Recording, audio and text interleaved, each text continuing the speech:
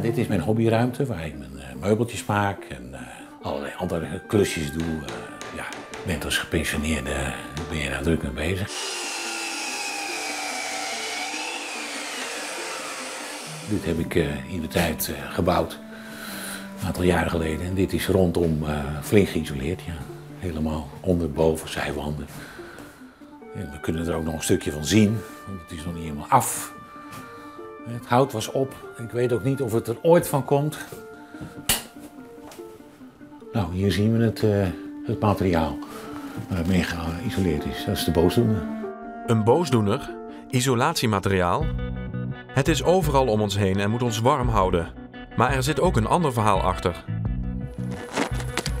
Een verhaal dat veel meer aandacht verdient, zeker nu isoleren een van de belangrijkste pijlers is van het nieuwe energieakkoord. Werknemers, werkgevers, milieuorganisaties werden het gisteren in grote lijnen eens. Meer windmolens, minder kolencentrales en geld voor isolatie van woningen.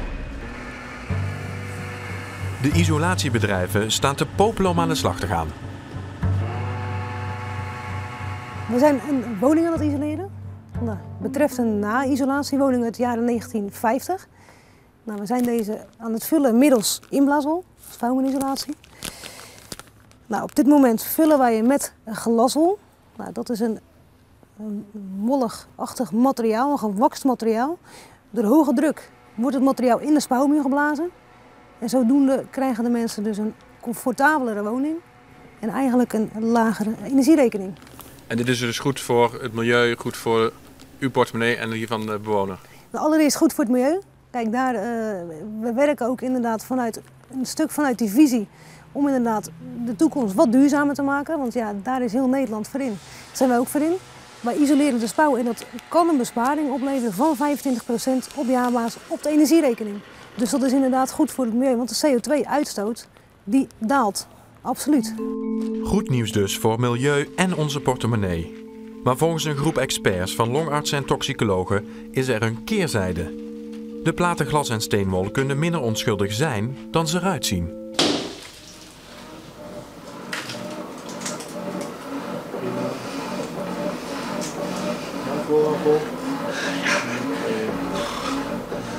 Effecten van vezels, glaswol, steenwol, kunnen vergeleken worden met die van asbest.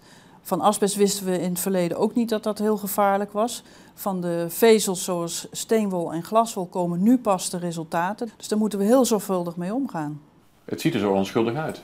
Ja, het, ziet er, het is ook prima spul om mee te werken. Makkelijk verwerkbaar, dus uh, wat wil je nog meer? Maar, het, is, het is heel slecht, ja. Want wat heeft er aan opgelopen?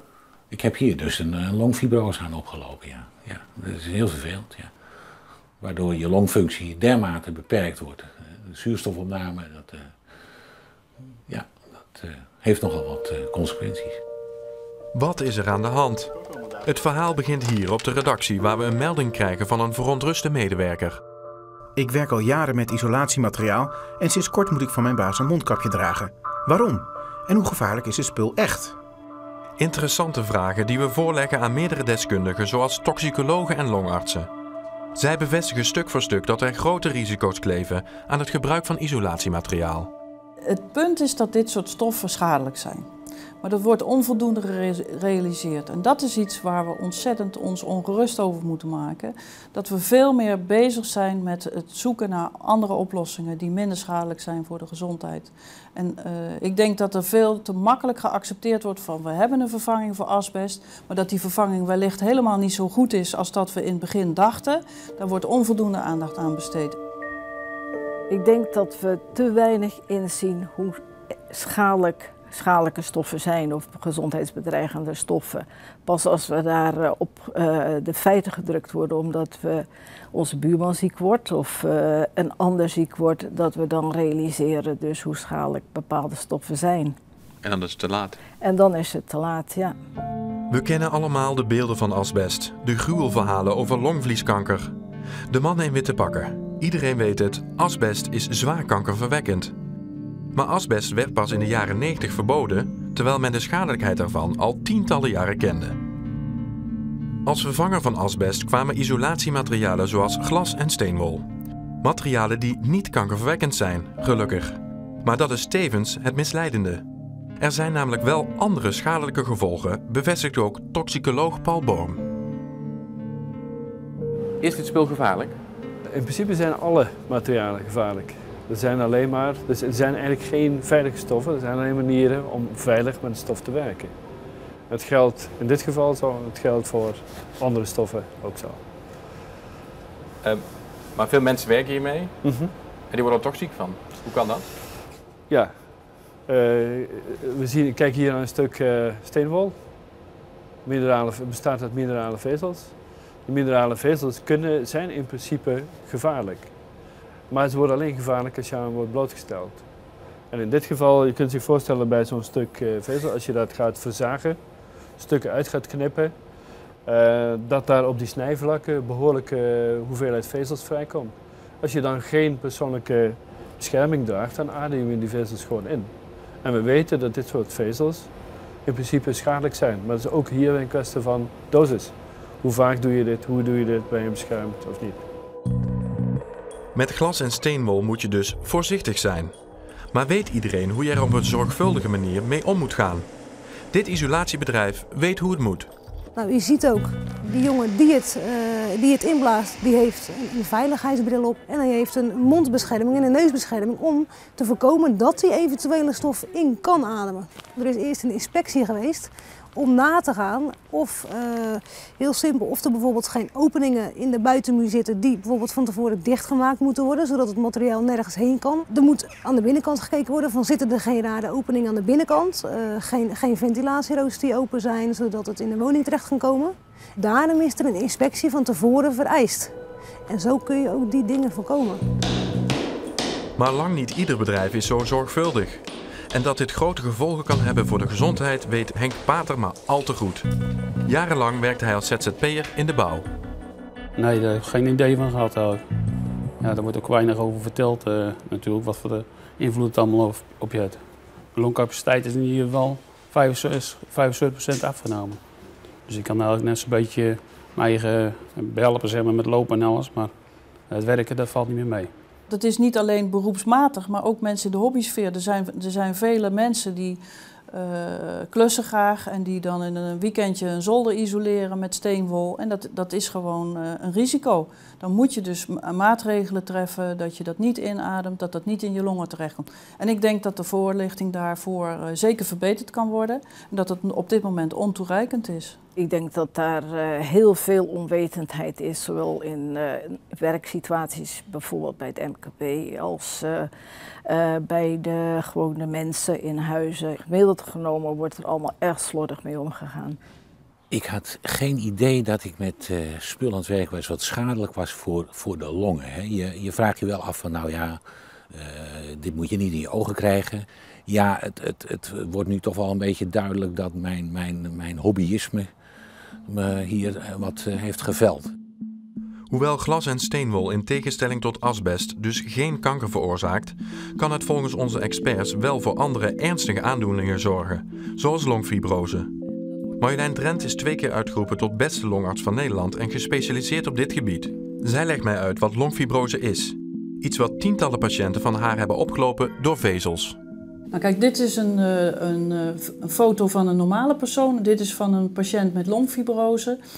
Als iemand eh, normaal zie je dus zwart op de foto. En eh, wat, dat is lucht. Buiten het lichaam is het zwart en tussen de ribben is het ook zwart.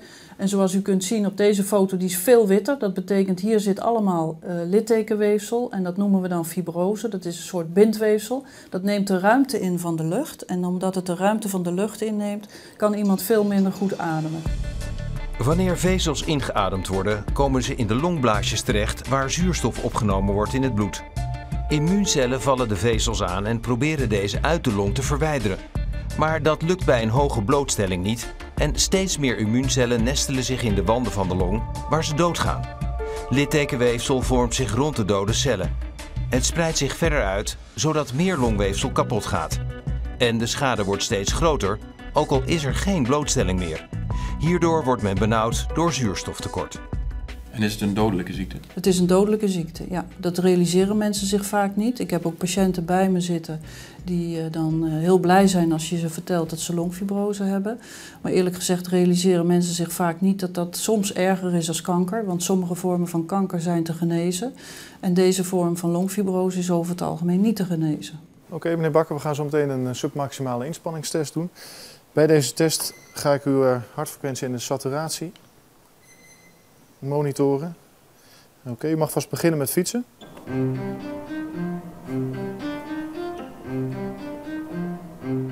Ik heb vroeger veel gewandeld, vond ik wel prettig. Ja, dat kan niet meer. Ik kan geen, uh, ik kan geen kilometers wandelen. Dan, uh, ik moet na iedere, na iedere 500 meter moet ik even stoppen. 500 meter ik, hè? Ja, dat is al een heel eind. Hou de tempo vast. Ik ben in mijn doen en laten enigszins beperkt. Misschien wel meer beperkt dan, uh, dan ik wil toegeven. Ja. Dat is waar. Stop maar. Goed gedaan. Hoe ging het? Nou, in het begin ging het wel lekker, maar gaat er gauw mis, ja. Het is niet alleen de blootstelling, het is ook nog eens een keer de aanleg. Kijk, niet iedereen die rookt krijgt longkanker. Maar de mensen die dat wel krijgen, die hebben de aanleg ervoor. Dus die hebben de blootstelling en die hebben de aanleg. En dat geldt voor dit soort uh, ziektebeelden ook. Ja, ik hoop dat ik uh, nog jaren zo uh, door kan gaan. Dat het stabiel blijft en dat ik het iets tegen kan houden. Dan heb ik nog iets van uitstel, zeg maar. Anders is het één stopje in longtransplantatie. Om vooruit te komen. Maar ja, dan zijn je jaren natuurlijk daarna ook geteld. Longfibrose is dus een zeer slopende ziekte die niet te behandelen is. Onderschatting van het gevaar bij inademen van vezels is een groot probleem, al dus onze specialisten. Dat zie je terug bij klussers, maar ook op de werkvloer. Want hoe goed het isolatiebedrijf zijn werknemers ook instrueert, een mondkapje dragen is lastig. Zo blijkt tijdens onze opnames. Halverwege heeft de werknemer zijn mondkapje afgezet. Ik weet dat bedrijven wel voorzorgsmaatregelen treffen. Die zeggen van dat ze bepaalde beschermende kleding moeten dragen, dat ze kapjes voor moeten doen. Maar heel veel werknemers doen dat niet, omdat het lastig is. Of dat uh, worden ze benauwd van. Of het is, uh... Kijk, en, en, maar als ze beter doordrongen zijn van het feit dat ze daar echt ernstig ziek van kunnen worden, goede voorlichting, ja, dan zijn ze ook uh, bereid om, om die maatregelen wel te treffen. Ik heb vaak die discussies met mensen die voor me zitten. Dan zeggen ze ja, ik heb me dat onvoldoende gerealiseerd. En hoe komt dat? Omdat wij onvoldoende voorlichten, denk ik. En dat geldt voor de uh, gezondheidszorg, maar dat geldt ook voor de firma's die die producten leveren. De isolatiebranche heeft volgens Drent dus een verantwoordelijkheid in goede voorlichting over mogelijke aandoeningen, zoals longfibrose en COPD. Daarom hebben de branchevereniging voor minerale wollen, waar glas en steenwol toe behoren, om een reactie gevraagd. Op uw website, en dan citeer ik letterlijk, er staat minerale wol levert geen gevaren op voor de volksgezondheid. Hoe komt u er eigenlijk bij? Omdat het natuurlijk waar is. Ja. Er is een onderzoek gedaan door het uh, Internationaal Onderzoek uh, Instituut als het gaat om gezondheid. Dat is een onderdeel van de Wereldgezondheidsorganisatie. En daar is uh, minerale wol geclassificeerd in klasse 3. Ja. Klasse 3 is, is in 2001 gebeurd en daardoor kunnen wij dat zeggen. Ja. Nu, nu zijn er experts in onze uitzending die beweren dat het wel degelijk een gevaar is voor volksgezondheid. Zij zeggen dat het bijvoorbeeld longfibrose en COPD kan veroorzaken. Wat zegt u dan? Uh, ons zijn geen onderzoeken bekend uh, die een verband tussen deze twee aandoeningen en uh, minerale wolgebruik aantonen. dus wij zijn daar niet van op de hoogte dat daar een, onder, een verband tussen is. In tegenstelling tot onze experts kent de brancheorganisatie geen onderzoeken die aantonen dat glas en steenwol schadelijk kunnen zijn. En daarom zijn ze al helemaal niet van plan om de gebruikshandleiding aan te passen. U zou ook kunnen redeneren, baat het niet, dan schaadt het niet. Wij geven ad advies altijd een mondkapje op te doen, zodra je dat bewerkt. Dat is niet wat we nu doen. Dus Waarom doet u dat niet? Omdat er dus geen uh, onderzoeken zijn die aantonen dat er gezondheidsproblemen uh, zijn. Maar die gezondheidsrisico's staan volgens onze experts al tientallen jaren vast. Maar ook de gebruiker weet van niks. Nou is het zo dat men al weet dat sinds de jaren 90 dat materiaal schadelijk is. Voor de longen, schadelijk voor de longen. Ja, dat is uh, opmerkelijk, ja. Dat men dat weet en dat men er niks aan doet. Want dat was ruim voordat u ziek werd. Ja, dat mag je wel zeggen, ja. Dat was ruim voordat ik, uh, voordat ik daarmee naar de dokter ging, ja. Hoe kan het dat toxicologen, longartsen en andere onderzoekers blijkbaar al jaren weten dat glas en steenwol ernstige aandoeningen kunnen veroorzaken, maar dat het gevaar nog steeds onderschat wordt? Ik denk dat we gewoon even wat vergeten waren, omdat we allemaal op het kankerverwekkende effect gefocust waren. En nu wordt het tijd om ook eens op die andere dingen te focussen? Ik denk dat terug, tijd wordt om even goed terug te kijken. Uh, naar wat stof en vezels allemaal kunnen, naast het feit dat ze kanker veroorzaken. Die gegevens hebben we, maar in onze race tegen het vinden van een goede vervanger voor asbest, zijn we dat blijkbaar ergens vergeten onderweg. Ik spreek u als chemicus, een toxicoloog, een longarts. En die zeggen allemaal, ja, er is te weinig aandacht voor. Terwijl we het al jaren weten. Ja. Ja, dat, uh, dat is een constatering wat veel meer, voor veel meer producten geldt. Wij weten dat al jaren en uh, uh, blijkbaar moeten er eerst bepaalde zaken ergens hoog op een agenda komen, wil er wat mee gaan gebeuren en dan meestal ook nog traag. Eigenlijk in zijn totaal zou de politiek meer de industrie moeten, moeten stimuleren om in dit soort situaties wat harder te gaan lopen voor innovaties. Maar wat staat er op de verpakkingen van isolatiemateriaal? Had klusser Bram Bakker zelf kunnen weten dat je er ziek van kan worden? Hij neemt ons mee naar de bouwmarkt. Nou, ik wil u laten zien dat er bijvoorbeeld op zo'n pak dus nauwelijks iets staat over de gevaren die het uh, met zich meebrengt. Er staan een heleboel dikke letters op, maar verder uh, nauwelijks iets. Uh, indien mogelijk de, de ruimtes ventileren. Ja, hetzelfde. Gebruik uh, mondkapje in niet geventileerde ruimtes. Nou ja, zet een raampje open en alles zweeft je longen binnen. Het, uh, het deugt niet. Bij uh, dit soort producten zie je inderdaad heel veel dat het sterk onvoldoende is wat op de etiketten staat. Misschien zou het goed zijn om een label voor een product te verzinnen wat COPD kan veroorzaken. Of longfibrose. Of longfibrose. Meer aandacht voor schadelijkheid, anders dan kanker omdat isolatie nu weer hoog op de politieke agenda staat, komt een groep experts in actie. We hebben een brandbrief geschreven aan de minister om aandacht te vragen voor uh, het effect van uh, deze stoffen en ook het uh, isoleren van die huizen. Dat ze dus aandacht vragen voor de gevolgen aan de andere kant. Dat het niet alleen de win-win-win, maar kijken of het niet ook nadelige gevolgen kan hebben. Dat voordat die huizen geïsoleerd worden, dat er een analyse wordt gedaan of bij dat specifieke huis het wel kan. Ongetwijfeld zal het voor sommige huizen geen gevolgen hebben, maar voor sommige huizen wel. En daar moet dat natuurlijk niet gebeuren, want dat kan op lange termijn gezondheid gezondheidseffecten hebben en ook gevolgen hebben voor eh, de kosten in de, in de gezondheidszorg. En Bram Bakker was ook graag vooraf gewaarschuwd. Want als het erop had gestaan?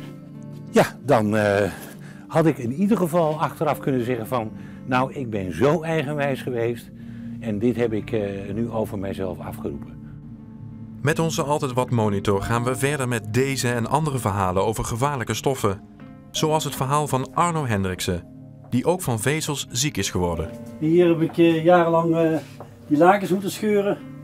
En uh, dat is het probleem geweest waar ik ziek van ben geworden. Dus u bent ziek geworden door uw mooie ambacht? Ja, door mijn werk, ja. Dat gebeurt, ja. Onwetend natuurlijk. En daarom zitten we ook hier, om de mensen te vertellen. Houd er rekening mee als je in dat wereldje zit met stof en noem maar op, dat je daar rekening mee houdt. Dat dat kan gebeuren. Heeft u ervaringen met gevaarlijke stoffen thuis of op het werk?